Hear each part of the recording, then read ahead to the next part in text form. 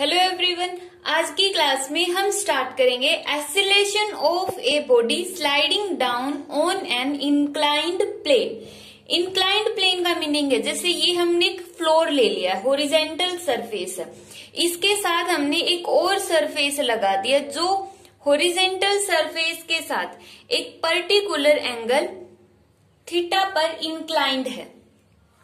अब इस inclined surface के ऊपर हमने एक बॉडी को पुट कर दिया। मान ली एक ब्लॉक पुट कर दिया, जिसका मास है एम यहाँ पे एम है मास ऑफ़ ब्लॉक या बॉडी मास ऑफ़ ब्लॉक या फिर मास ऑफ़ बॉडी कोई भी वर्ड हम यूज़ कर सकते हैं। अब हमें बताए कि अर्थ का जो सेंटर होता है, कोई भी ऑब्जेक्ट अर्थ पर चाहे कहीं पर भी हो, उसका वेट कहाँ पर होगा? टूवर्ड इट्स सेंटर सेंटर की तरफ़। तो यहाँ पर जो इसका ये हो गया इसका सेंटर ऑफ़ ग्रेविटी पॉइंट अब इसका मास m है। मास m है तो वेट कितना होगा? एम जी और वो कहाँ पर होगा? Toward the centre of gravity toward the centre of gravity means बिल्कुल सीधा, नीचे की तरफ़। तो ये हो गया toward the centre of gravity इसका वेट हो गया, जिसको हम रिप्रेजेंट कर देंगे एम जी से। अब इस वेट ने, अब मीन्स ये जो ब्लॉक रखा हुआ है, वो इस सरफेस के ऊपर रखा हुआ है। ये सरफेस इसके ऊपर एक नॉर्मल रिएक्शन लगाएगा नॉर्मल रिएक्शन और उस नॉर्मल रिएक्शन की डायरेक्शन होगी अपवर्ड डायरेक्शन में, और नॉर्मल रिएक्शन को हम रिप्रेजेंट कर देंगे आर से। अब नॉर्मल रिएक्शन तो हो गई अपवर्ड डायरेक्शन में। वेट है, उसने नॉर्मल रिएक्शन के साथ कितना एंगल बनाया और कौन सा कंपोनेंट होगा उसका नॉर्मल रिएक्शन को बैलेंस करने के लिए। तो यहाँ पे ये एंगल भी कितना होगा? थीटा अब ये एंगल थीटा क्यों होगा? इसका लॉजिक समझते हैं। देखो, जो नॉर्मल है, ये नॉर्मल है आर नॉर्मल रिएक्शन आर ये इस इंक्लाइंड सरफेस पर कितना एंगल बना रही है? 90 डिग्री का एंगल बना रही है। मींस जो ये आर हमने लिया है, यहाँ पर आर ने कितना एंगल बनाया है? 90 डिग्री का। और जो ये वेट है, ये डाउनवर्ड में एक्ट कर रहा है इस तरह से। एम जी और इस वेट का नॉर्मल रिएक्शन के बिल्कुल इस तरह से अपोजिट डायरेक्शन नॉर्मल रिएक्शन के बिल्कुल अपोजिट डायरेक्शन में वेट का एक कंपोनेंट होगा, जो अब हम निकाल लेंगे कितना होगा।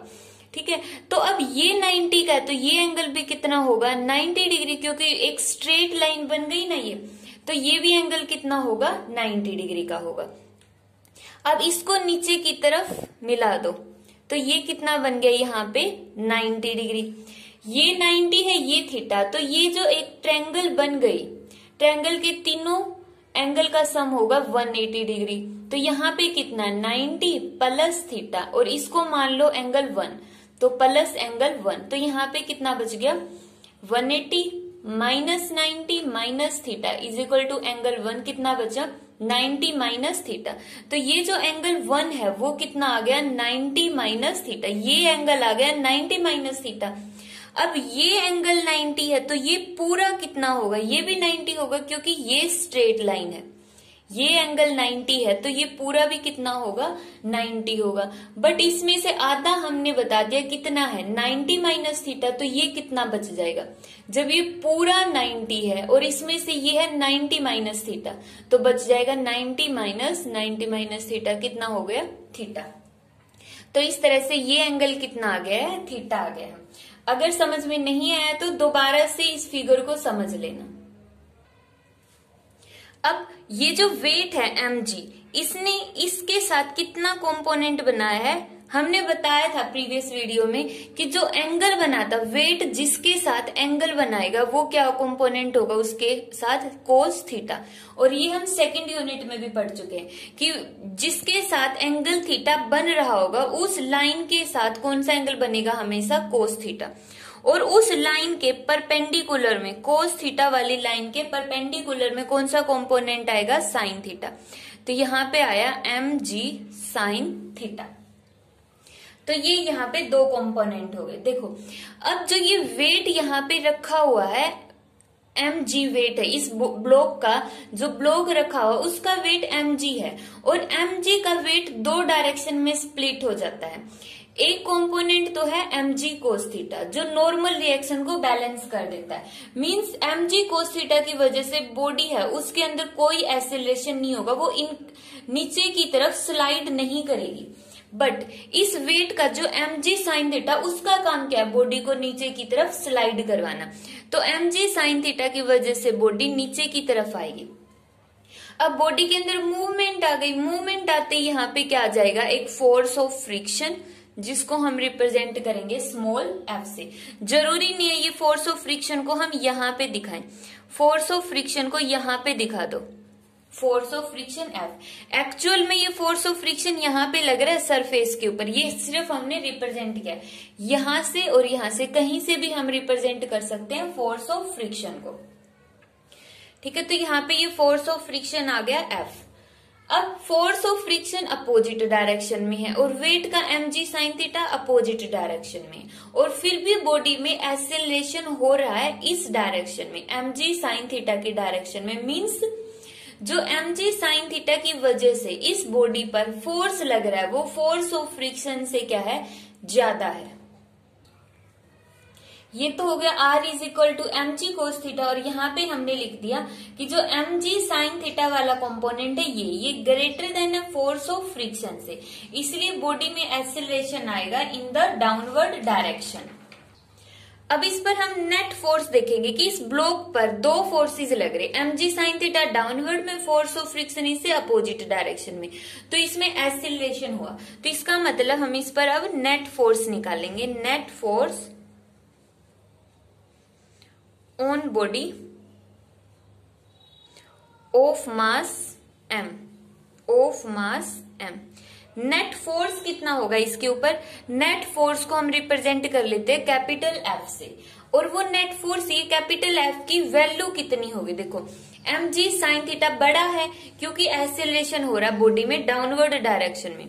तो means M G sine theta बड़ा कंपोनेंट है और उसमें से हम सब्ट्रैक्ट कर देंगे फोर्स ऑफ़ फ्रिक्शन को।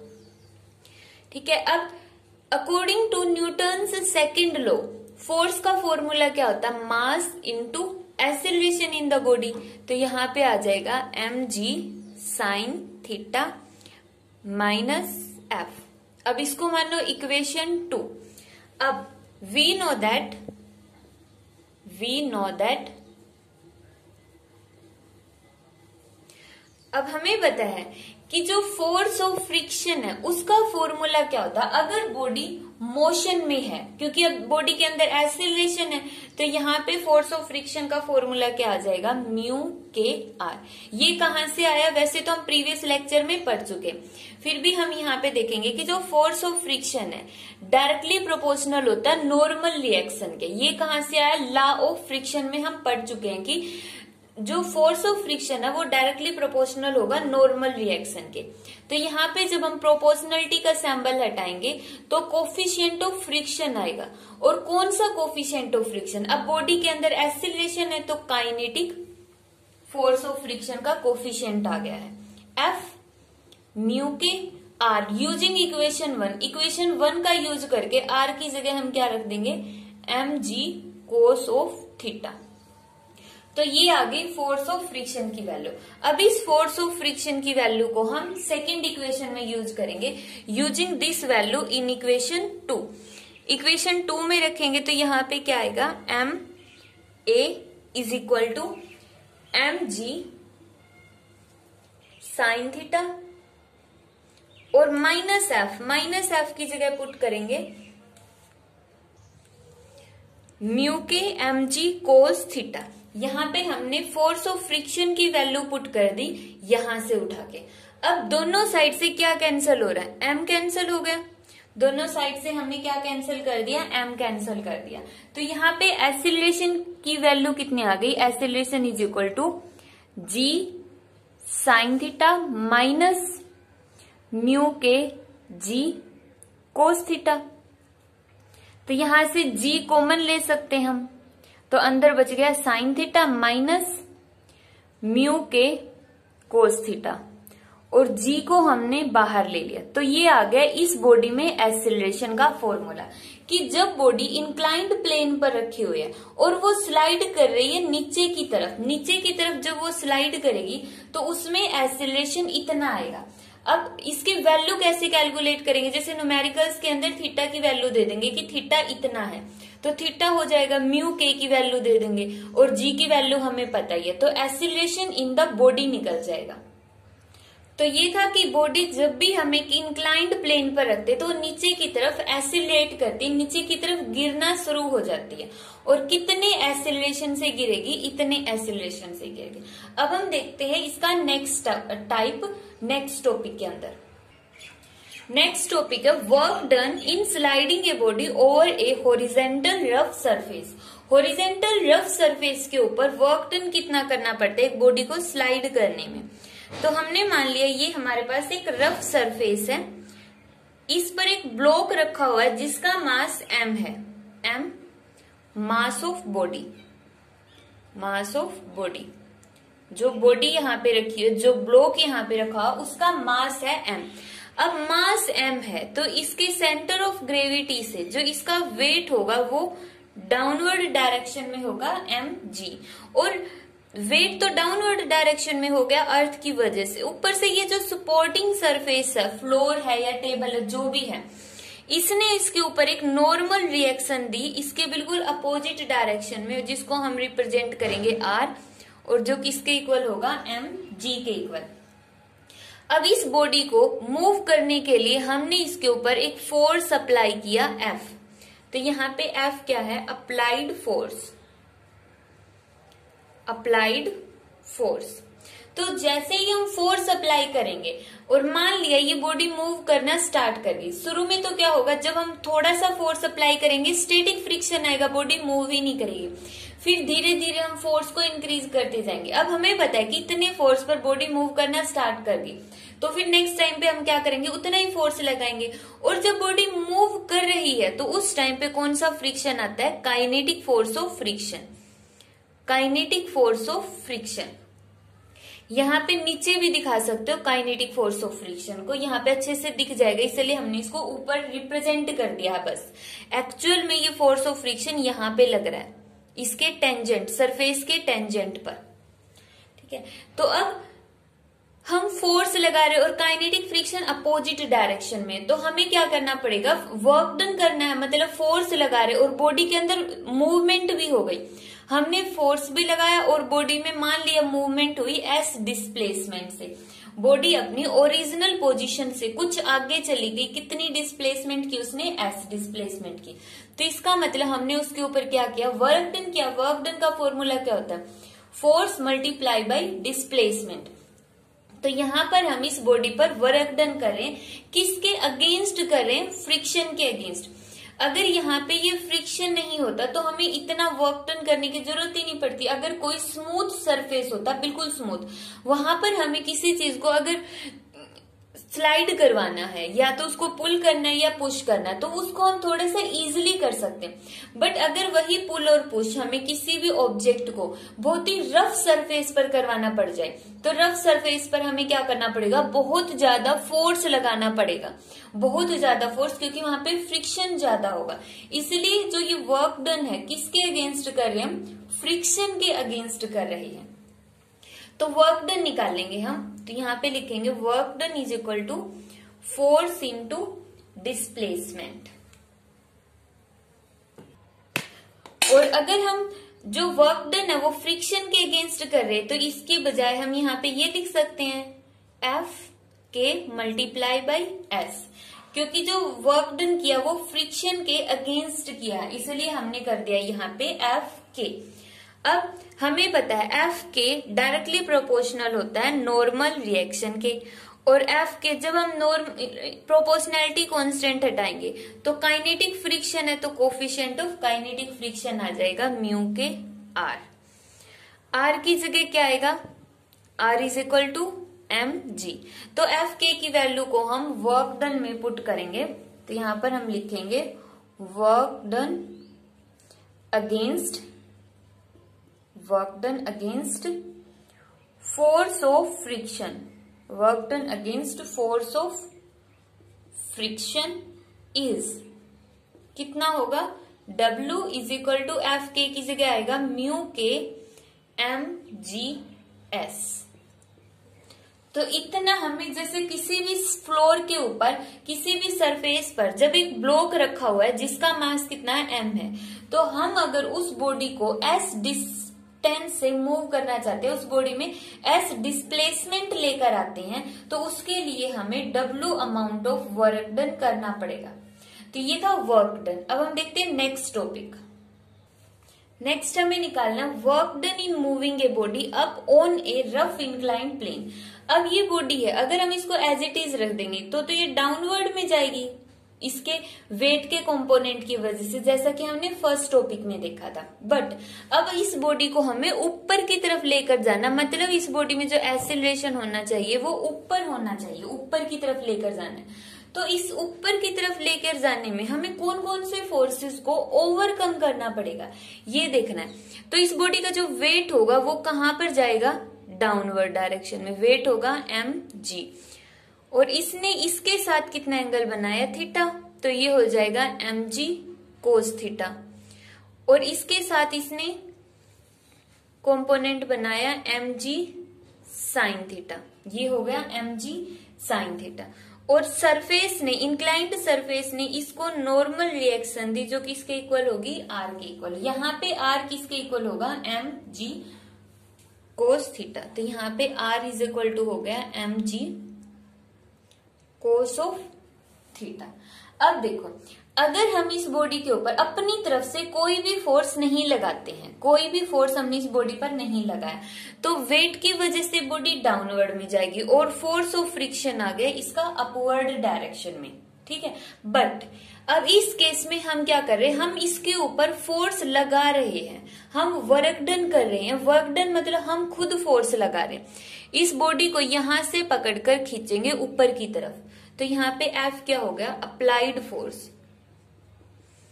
अप्लाइड फोर्स इस बॉडी पर जो हमने फोर्स लगाया, वो है एफ़ अब हमें बताया कि फोर्स ऑफ़ फ्रिक्शन जैसे ही हमने फोर्स लगाया, ये बॉडी ऊपर की तरफ़ जाएगी तो फ्रिक्शन होगा नीचे की तरफ़. क्यों? क्योंकि जो फोर्स ऑफ़ फ्रिक्शन होता है, वो अप्लाइड फोर्स से अपोजिट डायरेक्शन में होगा. अगर अप्लाइड फोर्स की वैल्यू इस तरफ़ है, हम फोर्स इस तरफ़ लगा रहे तो फ्रिक्शन हमेशा उससे अपोजिट डायरेक्शन में एक्ट करेगा. इसलिए अब की बार जो फ्रिक्शन आ गया, वो आ गया इसका डाउनवर्ड डायरेक्शन में. ये हो गया force force of friction F force of friction हमेशा अप्लाइड फोर्स से अपोजिट डायरेक्शन में लगेगा. तो अब हमें देखना है कि इस बॉडी के अंदर एसिलेशन होगा अपवर्ड डायरेक्शन में। क्यों होगा? क्योंकि हम तो खुद ही कर रहे हैं ना, हमने जो वर्क डन किया, वो इसीलिए तो किया ताकि बॉडी ऊपर की तरफ़ मूव करे। यहाँ पे जो हमने फोर्स लगा, वो इतना लगाना पड़ेगा कि इन दोनों कंपोनेंट को ओवरकम कर जाए। क्योंकि एम जी साइन थीटा और जो फोर्स ऑफ़ फ्रिक्शन है, दोनों इस बॉडी को नीचे लेकर आना चाहते हैं। और हम लेकर जाना चाहते उस बॉडी को ऊपर की तरफ़। तो मतलब हम जो फोर्स लगाएँगे एफ़ वो ग्रेटर देन होना चाहिए किससे? एम जी साइन थीटा से प्लस एफ़ दोनों से ग्रेटर देन बोल सकते हो या इक्वल बोल सकते हो। तो यहाँ पे जो अप्लाइड फोर्स होगा, वो इन दोनों फोर्स से ग्रेटर होगा, तभी तो इसके अंदर क्या आएगा? एसेलरेशन आएगा। अब कितना ग्रेटर होगा इस कंपोनेंट से? तो अब हम देखते हैं कि इसके अंदर जो एसेलरेशन आया, वो कितना होगा। तो सबसे पहले हम इसके ऊपर देखेंगे कि net force